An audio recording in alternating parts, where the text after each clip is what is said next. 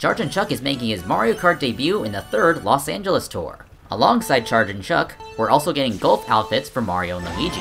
And the third Los Angeles tour brings in Los Angeles Laps 2, further indicating that Nintendo cannot count. I won't be going into too much detail about the track since I already showcased this route in my exploration videos. I will be showcasing all the other new content being added to the tour. Now before we get started, make sure to charge into that like button right now.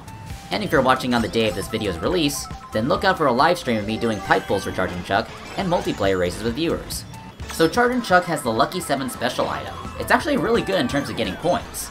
If you hang out around 6th or 7th place, you can farm from Lucky 7s and get a lot of actions, especially from the blooper. And if you upgrade them to level 4, you'll get 3 coins added onto the Lucky 7. The Golf Mario Brothers have NES special items with Golf Mario getting the Mushroom Cannon, and Golf Luigi getting the Double Bombs. Even though their special items are not that good, also bear in mind that one of them could end up having really good track value in the future. There are no new gliders added to this tour, but there are 5 new carts.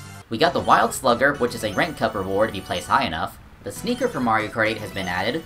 This will be part of the Spotlight in the Week 2 pipe alongside the Green Lightning cart. There's also Cupid's Arrow, which is a new cart that'll be part of a upcoming special 50 pipe, and it's gonna be Valentine's themed. And I've saved the best cart for last, the Combo Cruiser. It's a burger cart with burger tires with hot dog rims and a cup that does not shoot out flames, but an actual liquid. It doesn't get any more American than this. Not to mention, the Spotlight glider in the Charging Chuck pipe is the Star Spangled Glider.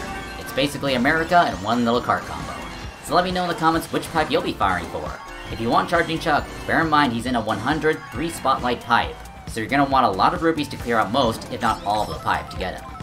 Once again, if you're watching this video on the day it's released, I'm going to be doing a live stream where I pull Charging Chuck on my legit account. I'll also be doing multiplayer races soon after. Anyway, that's going to do it for this quick overview of the Los Angeles tour. Let me know what you think in the comments below. Thank you all so much for watching, and see you all next time.